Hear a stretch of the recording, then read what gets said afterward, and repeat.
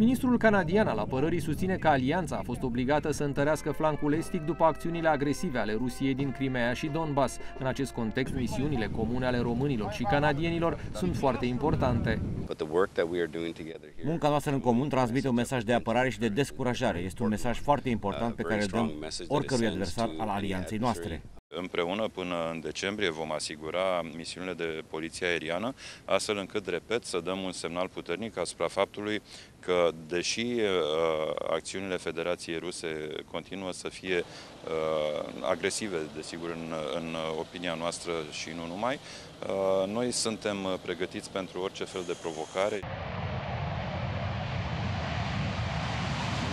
Canadienii au adus în baza Mihail Cogălnicianu peste 130 de oameni și 5 avioane CF-18 Hornet. Piloții canadieni participă alături de piloții români de MiG-21 Lancer la misiunile de poliție aeriană. Ei au venit constant în ultimii ani și au avut misiuni de câte 4 luni. Horneturile și Lancerurile zboară mereu în formație, la interceptări reale sau în misiuni de antrenament. Anul trecut, o echipă a știrilor TVR a participat la o astfel de misiune de antrenament în care a fost simulată o interceptare.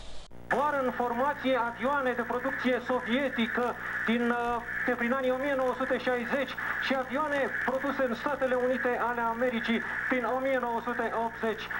Vedeți și în stânga și în dreapta migului în care sunt Numărul cazurilor în care avioanele militare rusești se apropie de spațiul NATO a crescut constant în ultimii ani. Sunt săptămâni în care piloții români și străini decolează de 2-3 ori pentru a intercepta aparate rusești deasupra Mării Negre. Situația s-a tensionat după primăvara lui 2014, când Rusia a anexat ilegal peninsula Crimea.